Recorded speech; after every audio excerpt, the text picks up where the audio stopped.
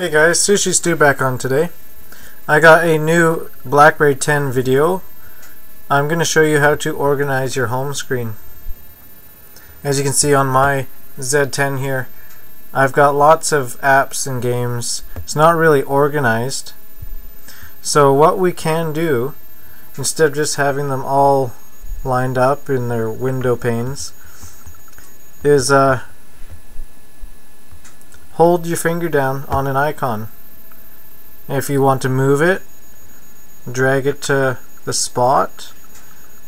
Hold it over to the side if you want to move window panes.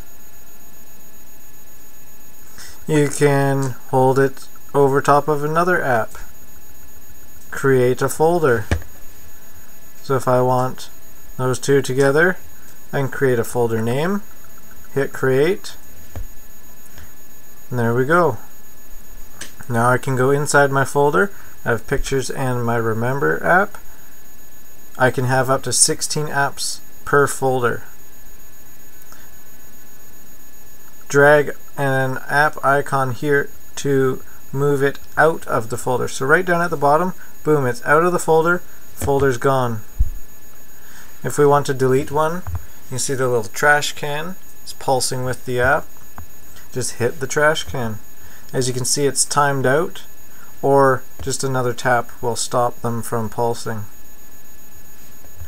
So that's how you organize your home screen. You don't have to have them all lined up in their window panes.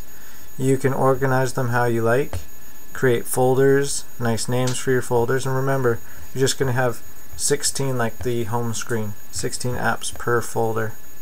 And you can have 16 folders per window pane. That's a lot of apps and games. So a nice way to organize your BlackBerry 10, right now the Z10. Thanks for watching guys. This is Sushi Stew. Don't forget to follow me on Twitter at Sushi Stew and check out my blog www.sushistewpb.tk. Thanks for watching again. Peace.